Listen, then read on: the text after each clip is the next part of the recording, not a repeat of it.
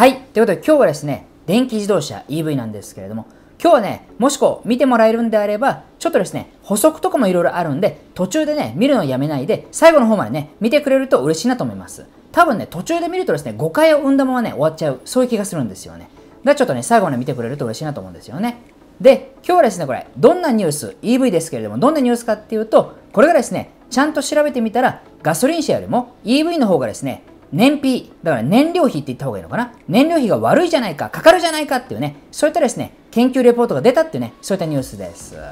で、そのですね、ニュースを紹介した後に、多分ですね、これ僕のチャンネルではね、一度も紹介してないと思うんですけれども、これね、EV に対して、ぶっちゃけですね、海外では、まあ、特にアメリカですけれども、どういうふうにね、どんな声が上がってるのかっていうのもね、紹介しようと思います。また最後にですね、トヨタのね、いいニュースとかも紹介していきます。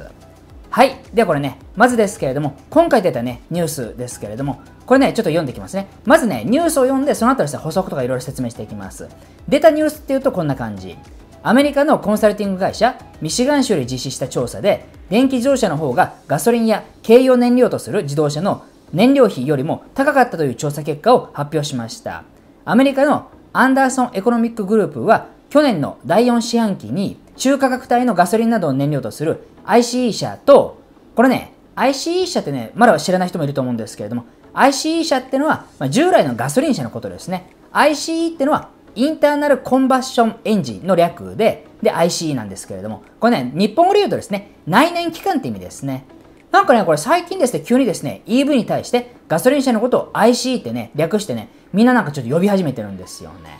で、ちょっと話戻って、でですね、そのね、ガソリン車である IC 車と電気自動車が100マイル、およそ160キロを走行した際にかかる燃料コストを比較しました。本社がある中西部ミシガンの州税や燃料費などを参考に算出した結果、電気自動車の方が31セントイコール40円ほど高くなりました。ってことで、EV の方がですね、これ160キロ走ってみると40円高くなったってことなんですよね。で、さらにですね、EV を自宅ではなく充電施設で充電した場合は、3ドルイコール400円以上高くなったということです。まあ、こういったニュースが出たんですよ。これがね、ニュースで言うと以上なんですけれども。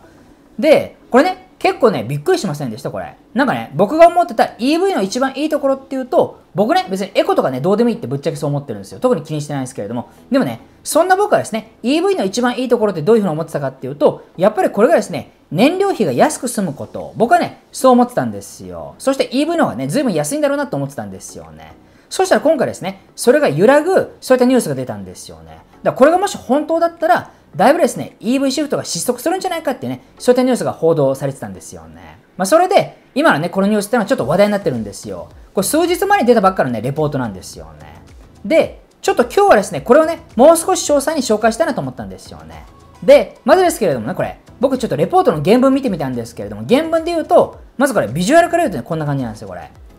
はい、これ。これがですね、今日ね、さっき読んだニュースのその計算の内訳なんですよね。ざっくり見るとこんな感じなんですよ。で、これをですね、ちょっと細々説明していきますね。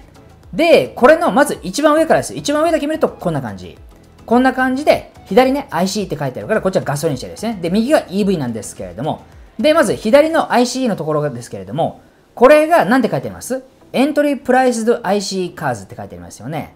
だからこれですね、ガソリン車のね、エントリープライスモデルで走るとってことなんですよね。だからね、低価格帯のガソリン車の場合ですね。これでガソリン車で100マイル160キロ走る場合、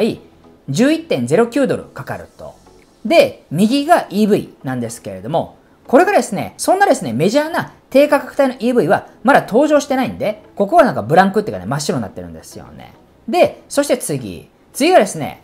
はい、これです。これが今日のニュースのメインで取り上げられてたやつですね。ミドルプライスのガソリン車の話ですね。これだとですね、160キロ走って11.29ドルかかると。まあ、さっきニュースで言った通りですよね。で、右のミドルプライスの EV だと、家でいつも充電してるユーザーっていうのは11.60ドルかかると。上の部分ですよ。右上の部分。なので、結局ですね、ガソリン車と比べて31セント違う。日本円で40円ほど高くなる。EV の方が40円ほど高くなるっていう結果になったんですよね。160キロ走った場合。で、さらにこれですね、外にある、家じゃなくてね、外にある EV の充電スタンド、ガソリンスタンドならぬ EV スタンドですよね。そこに行っていつも充電してるユーザー。多分ね、そっちの方がね、早く充電できるんでしょうね。そこに行っていつもね、充電してる人だと、これからですね、160キロ走るためには、14.4ドルになるので、これがガソリン車と比べて3ドル以上、だから400円以上とか高くなってしまう。そういった結果になったんですよ。160キロ走った場合ですよ。で、こっからね、ちょっと補足入れていくんですけれども、もうこれね、気づいてる人いると思うんですけれども、このグラフ、この見た目っていうと、色がね、いろいろついてますよね。で、これがね、何かっていうと、計算の内訳なわけですね。コストの内訳なんですよね。で、コストの内訳、この色ごとにね、どういう風になるかっていうと、はい、こうなります、これ。これちょっとね、英語なんですけれども、で、これがですね、一番左側、青色ですけれども、これがですね、単純にガソリン代とかね、あと電気自動車で言うと電気代ってことになるんだと思うんですよね。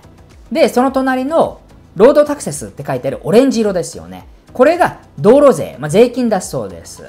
だからこれがですね、例えばね、これさっき見てもらったこのミッドプライスと IC カーズの左側ですよね。ガソリン車の左側だと、これ単純ですよね。単純にこのガソリン代とロードタクセス、税金で全部終わってますよね。で、これが右のね、EV になるといろんな色がつくっていうね。青色の部分はこれ電気代になりますね。EV の場合だとね。そんな感じなんですよ。で、さらに EV になってですね、新しく出てきたのが黄色ですよね。で、この黄色何かっていうと、コストオブチャージャーズって書いてありますけれども、これ何かっていうと、説明として書いてあったのがですね、ポンプや充電器の運転費用って書いてあったんですよ。で、さらに、それをですね、5年間で焼却って書いてあったんですよね。だからこれ、おそらくですね、家庭で EV を充電するための充電器の設備、それを設置するためのね、初期費用とか、それのですね、維持とかにかかるための費用を5年間で割ってるんでしょうね。で、あとですね、1年間でこれはですね、1200マイル走る計算で、だからね、これ日本で言うと1万9000キロ走るって計算で、今回のですね、100マイル、160キロ走った場合にして、燃料費にね、こう、細切れにして乗せてるってことなんでしょうね。まあだからね、ガソリン車の場合は、ガソリンスタンドで給油する場合には、そのね、黄色の費用はいらないですよね。何もね、自分でね、初期費用とかね、メンテナンス費いらないですからね。ただこれが、電気自動車の場合はいくらかいるんじゃないかって計算になってるってことなんですよね。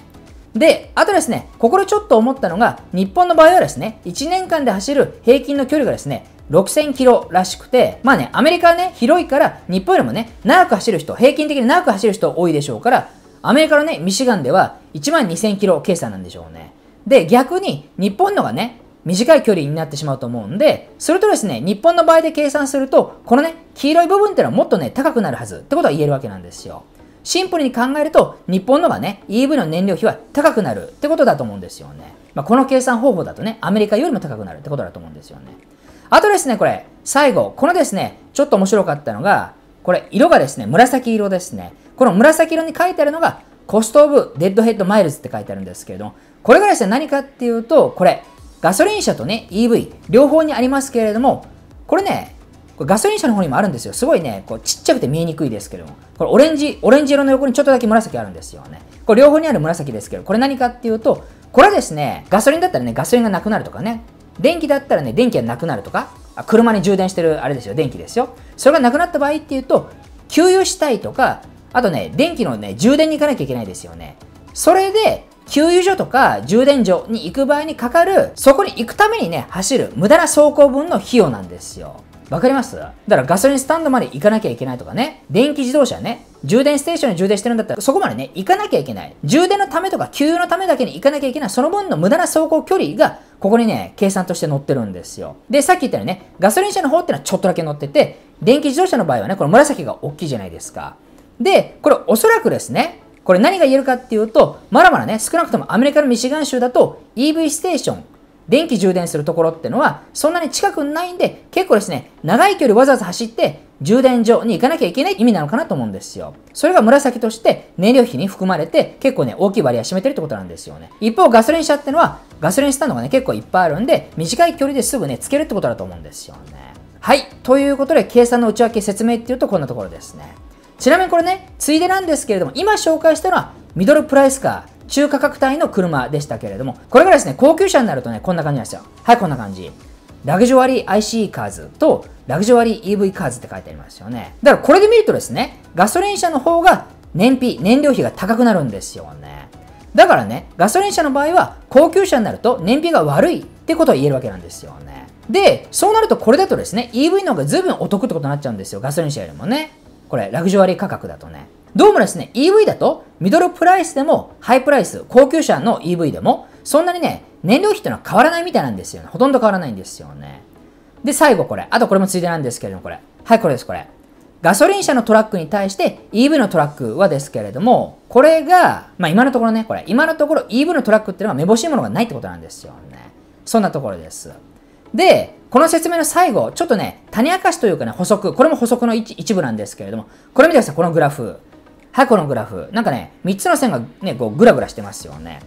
で、これがですね、この青いラインがガソリン車の燃料費コストの上限なんですよ。だからこれね、どういうことかっていうと、当然ですね、ガソリン車の燃料費っていうと、ほとんどがね、ガソリン代が占めるところが大きいんで、要はこれですね、ガソリンの値段がね、毎年変更してるってことなんですよね。ガソリンの値段ってのは毎年上限してるってことなんですよね。最近はね、ウクライナ危機で上がっていたりとか、で、最近ちょっと下がってきてるんですよね。それで、これですね、ガソリン車の燃料費が上限してるってことなんですよね。上下してると。そして、あとですね、オレンジと黄色は EV の燃料費。だから、いつも充電ステーションに入れてる人と、家で充電してる人、それぞれですね。家で入れてる人が黄色ですね。そして、オレンジが充電ステーションへいつも入れてる人ですね。これもね、上下してますよね。なんでこれが上下してるかっていうと、これは電気代が上がったり下がったりとかしてるからなんですよね。で、今ですね、こう対局として言うと、今ね、ガソリンっていうのはね、最近ここ少し下がってきてるんですよね。で、電気代は逆に上がってきてるって感じなんですよね。これアメリカも同じみたいなんですよね。でもね、これ見ると面白いですよね。2020年から2021年の中頃までは、今よりもね、圧倒的にガソリン車の燃料費の方が安いんですよ。だから、今日ね、EV よりもガソリン車のね、燃料費が安いって言いましたけれども、2020年とかね、2021年とかはもっと安かったってことなんですよ、ガソリン車の方がね。むしろ最近はガソリンの値段がですね、少し下がってきたとはいえ、まだね、こう昔と比べると高い状況で、で、その高い状況でもガソリン車の燃料費が EV より安くなったっていうね、そういった話だった、そういうことになるわけですよね。あ、もちろんね、これね、もちろん今日の計算に異論がある人っていると思うんですよ。だからね、ちょっと詳細な計算の仕方ってね、紹介したわけですけれどもね、ミシガン州であの計算の仕方をしたらそうなるってことですね。あくまでこれ。そうなんですよ。で、あとですね、ちょっと思ったのが、EV のがね、圧倒的に燃料費が安いのかなと思ってたら、あくまでね、この計算の場合によりますけれども、まだですね、そんなにね、ものすごく変わるほど EV のがね、燃料費、ランニングコストが安くなってるって感じでもないんですよね。ただまあさすがにですね、ガソリンが高騰しまくっていた去年のね、中盤ぐらいだと、さすがにね、EV の方がね、得みたいになりますけどね、今日の計算でさえね。あとですね、これはあくまでね、アメリカのミシガン州だとこうだっていう感じで、ガソリン代ね、電気代とかっていうのは国によっても全然違うんでしょうからね。まあ、国によるってことあると思いますね、これはね。例えばこれね、全然古いデータなんですけれども、2016年までのデータでかなり古いんですけど、例えばね、はい、これ、見てます、これ。これがですね、家庭用電気料金の国際比較なんですよね。だからね、これだけね、国によって電気代ってのは違うって感じなんですよね。だから今日はあくまでアメリカのミシガン州で空いた計算をしたらって場合だけに留めておいてください。そういった考え方、留めておいてください。で、これパッと見るとですね、例えばこれね、デンマークやドイツなんてのは2016年ですけどもね、1kWh が40円なんですけれども、それに対してね、同じ時期日本では24円ぐらいですからね、だいぶ違いますよね。で、さらにカナダではね、12円ぐらいなんで、日本の半分の電気代ってことなんですよね。カナダってね、電気代安いんですね。てかこれ、アメリカもですね、電気代だいぶ安い感じになってますよね。日本円が24円なのに、アメリカは14円ですからね。そんな感じなんですよね。で、これってね、2023年で調べてないですけれども、やっぱりね、今でもね、日本よりもアメリカっていうと電気代が安いわけで、そのね、日本よりも電気代が安いアメリカで計算してみても、EV よりはガソリン車の方が燃料費がね、安くなるっていう話だった。そういうふうに言えるわけなんですよ。だからね、日本で計算すると、もし同じ計算したらね、ますます日本だと EV よりもガソリン車の方がね、安く乗れるってことになると思うんですよね。その可能性が高いと言えると思います。ちゃんと計算してないですけれどもね。あ、だからね、繰り返しますけれども、今日の計算の仕方だった場合ですよ。はい。ということでニュースの紹介は以上なんですけれども、じゃあここからですね、このニュースについていたコメントを紹介していこうと思います。みんなこのニュースを見て、ね、どういうふうに思ってるのか、ふざけんな計算がおかしいとかね、いろいろ言われてるのかどうかってね、それちょっと紹介していこうと思います。あとですね、アメリカ人が EV に対してどういうふうに思ってるのかっていうのもわかると思うんですよ、少しはね。で、これ、まず紹介していきます。これ、コメントこんな感じです。この記事は EV の運転コストが ICE 車と同等か、あるいはマイナスであると宣伝しています。私は私が住んでいるところ、かっこテキサス州サンアントニオではそうではないことを指摘したいのです。だからね、今日のミシガン州ではなくて、今言ったですね、テキサス州のサンアントニオで計算すると違うってことを言ってるんでしょうね。だからね、まあ、EV の方が安いんじゃないかって言ってるんでしょうね。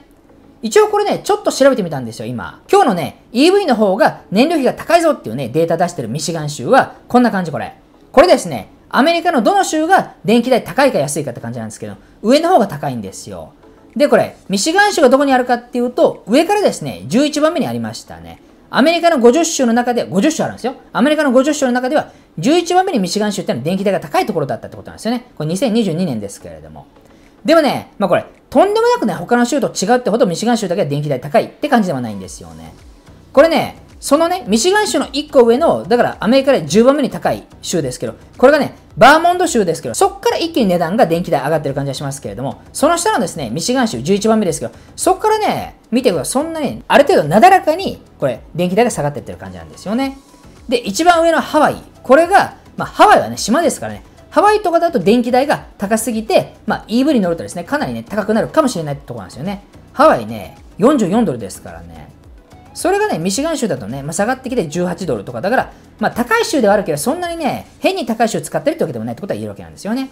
はい、そして次。これはこんなコメントありました。この記事では EV と ICE 車の間の多くの運用コストの違いが無視されている。それは指摘されるべきである。で、それがどういうコストかっていうと、この人が言ってるのが、私は F150 のチューンナップ、ターボ用ソレイノイドの交換や、その他の故障した部品の交換などで、エンジン修理に2600ドル支払ったばかりだ。一方 EV には故障するようなガラクタもなければ、故障の元だろうトランスミッションもない。電気モーターはほとんど故障しないし、修理も必要ない。エンジンオイルを交換する必要もない。長い間様々な ICE 車に乗ってきたが、今 EV に乗ってみて思うのは、私の EV はどの車よりも運転しやすいということだ。ってことを言ってますね。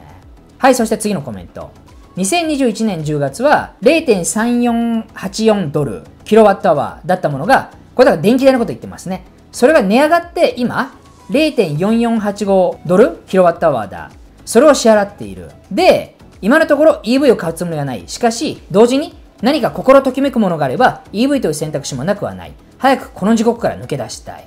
多分これ最後の地獄ってのは、まあ、結局最後はね、電気代が高いってことを言ってるんでしょうね、最後またね。はい、そして次のコメント。EV のバッテリーを消耗しきってしまったら、結局は多額の費用をかけて交換しなければならない。かっこもしくは車を捨ててしまうって書いてありますね。まあだから日本のコメント欄とね、似てることが書いてありますよね。はい、そして最後、最後のコメントですけど、こうあります。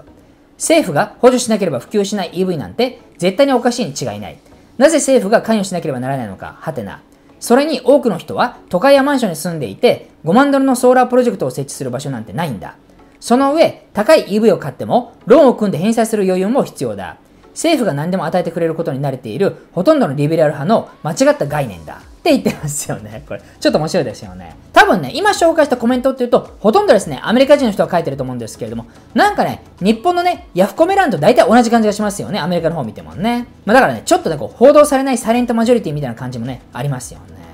だ結構ね、EV 反対の人は反対の人が、まあ、いるって感じなんですよね。もちろん賛成の人もいっぱいいると思うんですけれどもね。はい。っていうことで、大体ですね、EV 関連の話っていうとこんなところです。